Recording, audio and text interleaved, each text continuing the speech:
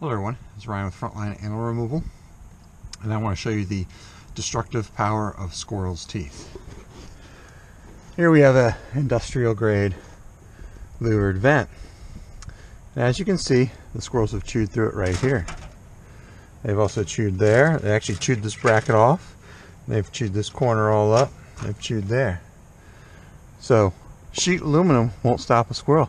They'll just go right through it. They've even chewed right there. So we're going to get this hole covered up and a trap set in place and uh, get these pesky metal chewers taken care of.